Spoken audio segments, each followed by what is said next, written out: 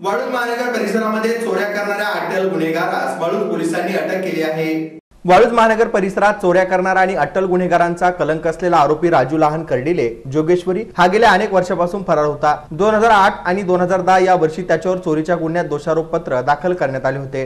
मात्र तो गेल्या अनेक वर्षापासून फरार असल्याने पोलिसांनी त्याचा सर्वत्र शोध घेऊनही त्याचा शोध लागला नव्हता. यामुळे आरोपी राजू कर्डिले यास न्यायालयाने फरार घोषित केले होते. दरम्यान चोरी प्रकरणापासून कर्डिले हा अनेक वर्षापासून भूमिगत असलेल्या या आरोपीस मिळून देणाऱ्याच औरंगाबाद पोलीस आयुक्तांनी पाच हजार रुपयांचे रोख बक्षीस जाहीर केले होते. परंतु पोलिसांनी वेळोवेळी गुंगारा देणारा फरार कर्डिले हा एमआयडीसी वाळूज परिसरातील जोगेश्वरी येथे त्याच्या वडिलांकडे आल्याची गुप्त आणि खात्रीशीर माहिती वाळूज पोलिसांना मिळताच एमआयडीसी वाळूज पोलीस ठाण्याच्या डीबी पथकाने त्यास घेराव घालून शिताफीने अटक केली. पोलीस स्टेशन एमआयडीसी वाळूजमधील इसवी सन दोन हजार आठ आणि दोन हजार दहामध्ये चोरीचे गुन्हे दाखल झालेला फरार इसम नामे राजू लहानू कर्डिले. हा गुन्हे दाखल झाल्यापासून फरार होता. याच्याबाबत कोर्टाने सुद्धा दखल घेऊन त्याच्याविरुद्ध जाहीरनामा प्रसिद्ध करणे जप्ती वॉरंट काढणे यासारख्या प्रक्रिया केलेल्या होत्या. गुन्हा दाखल झाल्यापासून सदरचा हा आरोपित फरारी इसम हा न्यायालयीन प्रक्रियेपासून किंवा कायदेशीर प्रक्रियेपासून स्वतःला वाचवण्याचा प्रयत्न करून हा फरार होता.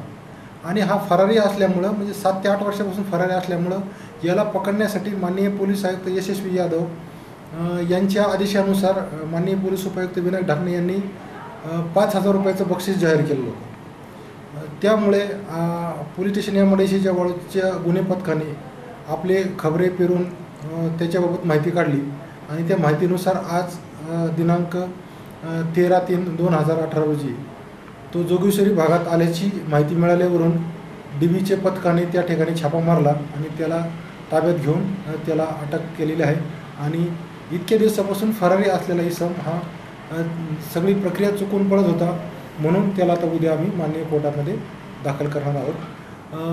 आ- आठ वर्षापासून फरारी असल्यामुळे त्याला अटक केल्यामुळे ही बाब निश्चितच अभिमानास्पद आहे. आणि यापासून लोकांनी कोणीही न्यायालयीन प्रक्रियेपासून किंवा कोर्ट कम कामकाजापासून फरारी राहून चालणार नाही.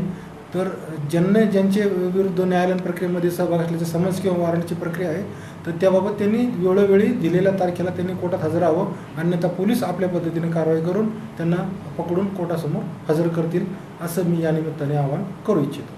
ही कारवाई पोलीस आयुक्त यशस्वी यादव उपायुक्त विनायक ढाकणे सहाय्यक आयुक्त ज्ञानोबा मुंडे पोलीस निरीक्षक ज्ञानेश्वर साबळे यांच्या मार्गदर्शनाखाली police head constable Vasant Shelke Karbhari Deore police Naik Sudhir Sonawane police constable Bandu Gore आदींच्या पथकाने पार पाडली आहे.